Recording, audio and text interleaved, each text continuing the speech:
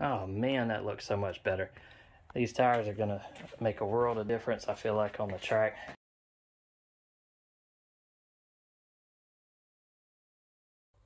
What's going on, guys? I got an exciting mod today I've been waiting to do for quite a while now. They've been on back order. If you haven't been able to tell from the title of the video, it's the SVE SP2 wheels that LMR sells. And so they've been on back order for months and months and finally came back in stock. Uh, was on the fence about getting them and then finally bit the bullet and bought them. And I'm very glad I did because they look great. They are super lightweight. They're supposedly lighter weight than the uh, Performance Pack uh, wheels that come on the Performance Pack cars. These came with the Nitto NT05s on them.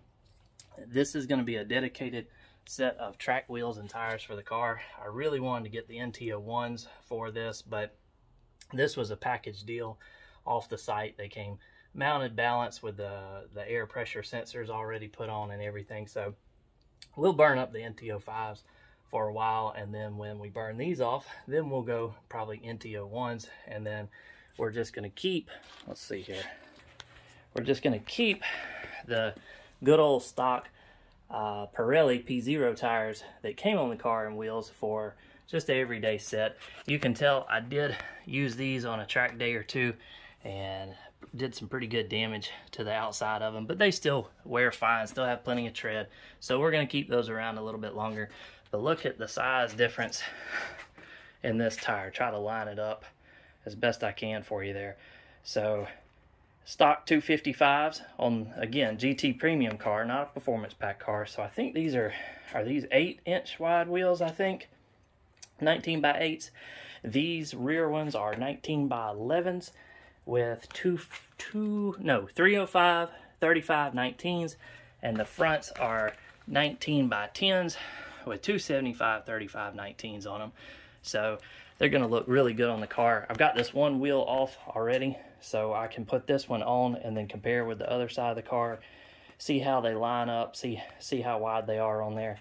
And uh, so we'll yeah we'll put those on there and and compare and then we'll we'll swap a front one and then we'll look at it and then go from there. All right, so here's the back one on. Looks really good sitting on there. There's the alignment from the outside, almost perfectly flush with the outside of the fender quarter panel. Here's the front tire off, ready to put the new one on. So there's that 255 factory tire, Pirelli tire. Here's the 275. Try to line them up pretty decent. 275 on the 10 inch wheel that'll replace it. So get that one on and then check the sides and see what it all looks like put together. So there's the very dirty factory wheel. And here's the new SP2 wheels. Oh man, that looks so much better. These tires are gonna make a world of difference, I feel like, on the track. They got so much more traction, so much more meat than those 255s and wheel. So if you look at it now, the fronts are pretty much dead in line with the outside of the car, the fender. Same thing with the rears. If you look at it, they're pretty much dead in line. Got a nice aggressive tire. The wheels look great. They're lighter. So if we look at the footprint now, got a pretty good sized tire.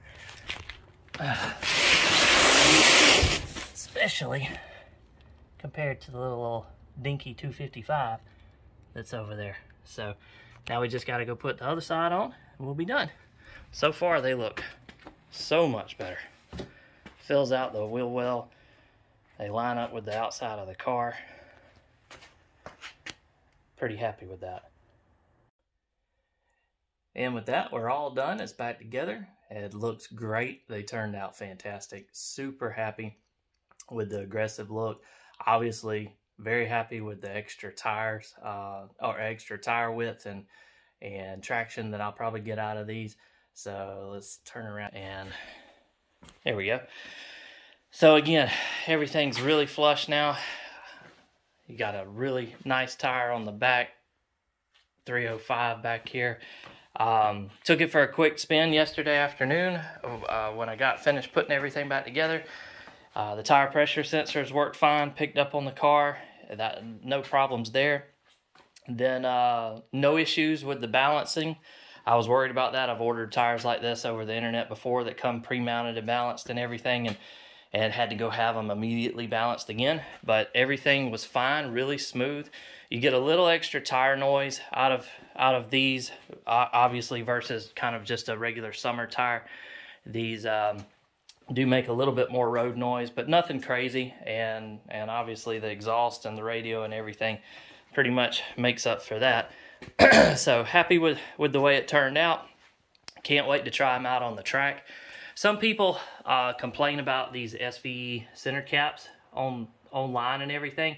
They really don't bother me that much. I'll probably just leave them like that. They say that the Ford Mustang center cap does not fit or it's too loose. And so I wasn't even going to bother trying to swap those out.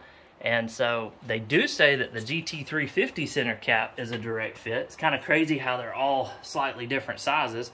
But again, I'm not even going to worry about ordering a new set of center caps for this. I'll probably just leave them just like they are. But regardless, um, I, I'm happy with the way it turned out. Super thrilled with the fit, finish, the look. I love the gloss black. Obviously, I'm going for an all blacked out car with just a few little hints of red here and there. Uh, that came from the factory like that, so I decided to match the front with it. So the wheels, wheels look great. Uh, you can see to the brakes and everything. Next up on the list is probably a, a brake caliper and rotor upgrade. So now you can see it even better through the wheels. But yeah, really happy with the way things turned out. So if you like this video, give it a thumbs up, or if you have any questions or comments, you know, drop them down below. I'll leave the link to where I purchased these in the description if you're interested. I actually did look today, um, finishing up this video to grab the link, and they're already back out of stock. So evidently pretty popular combination that a lot of people buy for this car, and so they're out of stock again. I don't know how long it'll be until they're back in but you can set a reminder and they'll email you when they when they come back in and you can grab you a set if you want to. Uh, again if you like the video or want to follow along with the Mustang build other Mustang videos consider subscribing and I appreciate you guys checking it out. Have a good one